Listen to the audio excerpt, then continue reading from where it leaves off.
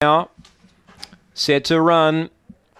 Ready, racing. Better watch that away only fairly. There's good pace the inside. Seco Bale now. Oh, gee, it's getting tight. Getting the lead. Silly Billy Sling, but now running up was Better Watch That. Got a great run through. Races clear of Silly Billy Bling. Then as a Red Rocker uh, at the Savoy. Then came Nike Bale. Precious Goods. Tamarin Bale out the back with Seco Bale, but Better Watch That. Everything went to plan. It got the great run through and it wins by three.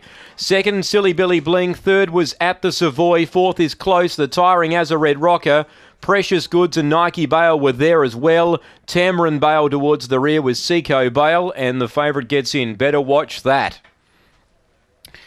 Well, it was in trouble early. Better watch that. But when the front markers jammed together, that enabled the uh, the favourite to get a glorious run through, and be too good for them here. Second placing, number one, Silly Billy Bling. Eight third at the Savoy and seven Nike Bale holds fourth. Three, one, eight, and seven. 3187 here after race four. Better watch that. Wins for Des Hockley.